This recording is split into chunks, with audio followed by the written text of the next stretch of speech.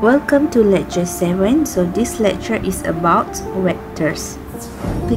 Okay, what are the applications of vectors? So the vectors can be used in many fields such as navigation of aeroplane, ship, also used in the gene cloning and in mechanics, physics and computer engineering.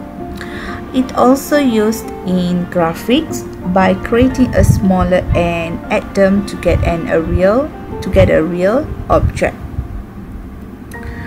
Vectors also used in a game.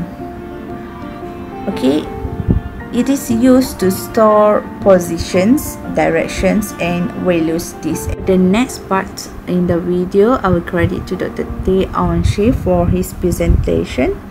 Alright, let's move to the next video.